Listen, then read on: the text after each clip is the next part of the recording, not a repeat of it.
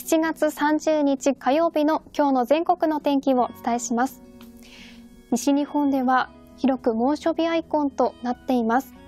日差しが届き厳しい暑さとなります。南西諸島でも晴れて夏空が広がるものの先島方面ではにわか雨が心配です。そして東日本北陸日本海側では雨が降りやすい天気となり一時的に強まるところもある見込みです。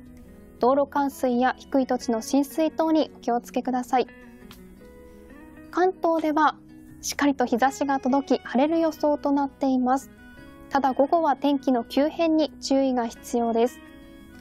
北日本東北では日本海側を中心にすっきりしない空となり雨が降ります。一方太平洋側では日差しが届くところが多くなります。北海道では午前を中心に雨が降り降りやすい天気となります。午後も午後も弱く短時間の雨が降るところがありそうです。気温につきましては晴れて日差しが届く西日本を中心に35度以上の猛暑日となるところが今日も多くなります。